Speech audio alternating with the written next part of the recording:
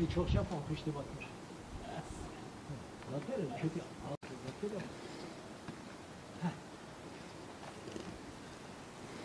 Ben patlatıcı getirdim ki gözüksün diye. Şimdi baba buradan çapraz bak buradan ha şuradan bir yerden inecek. Ya oraya inilmesi Hı. hiç. İnecek oradan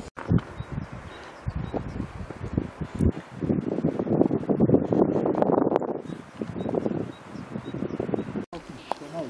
Öyle bir şey olur.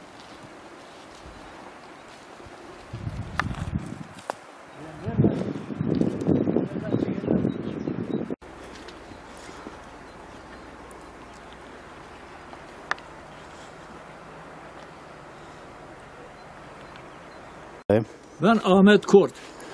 Benim evlerden 50 metre yukarıda şu gördüğünüz kaya üst taraftan koptu aşağıya düştü. Aşağıda önünde bir taş tutuyor. Eğer ki en ufak bir sarsıntıda bu taş buradan gelirse benim aşağıda evlerimi, arabalarımı hepsini alır götürür. Hala eğer ki gece de olursa eğer e, bizim canımız da e, yani e, tehlikede gece olursa. Ama gündüz olursa belki kendimizi kurtarırız. Ama evimizi, arabamızı bir türlü kurtarma şansımız yok. Devlet büyüklerinden yani yetkili kişilerden bu taşı bir türlü yani bize zarar vermemesi için bir türlü önlemelerini istiyor. Yani gereken e, yani ne şey yapılıyorsa rica ediyorum yani.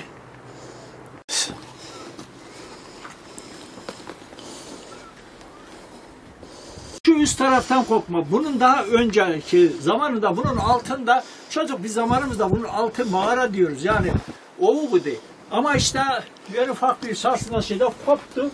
Ee, böyle duruyor bu anda. Ama her sağlam bir taş değil. Her an yani kopma tehlikesi var.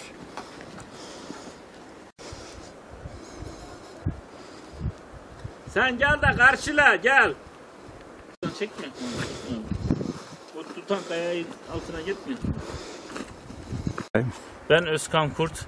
Ee, mevcut kaya yaklaşık 2 bina büyüklüğünde. Ee, bu kaya eğer kopup gelirse veya depremde, e, yağmurda kopup gelirse aşağıdaki bizim evleri tamamen paramparça eder. Bir an önce devlet yetkililerinden gelip bu kayayı parçalamalarını, indirmelerini istiyoruz.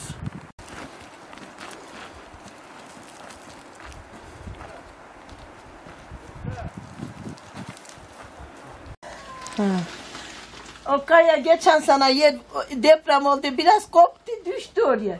E şimdi gece yatamıyoruz ki o kaya gelir de burada vurur öldürür eva meva zararlı verir. Ama onu bir an için gelin de parçalamazı isterim ne olur. Korkarız yatamıyoruz.